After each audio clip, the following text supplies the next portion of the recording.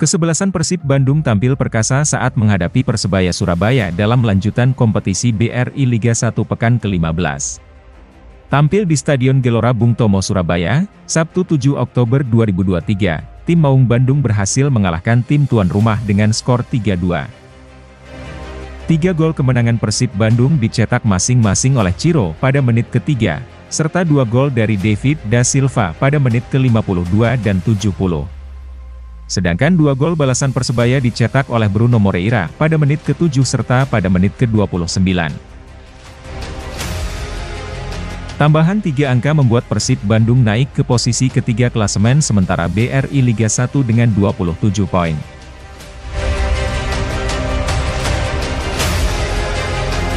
Di pertandingan lainnya, Persija Jakarta hanya mampu bermain imbang saat menjamu Barito Putra dengan skor 1-1. Bermain di Stadion Patriot Chandra Bagha Bekasi, Persija Jakarta unggul terlebih dahulu pada menit ke-30 melalui Matsumura.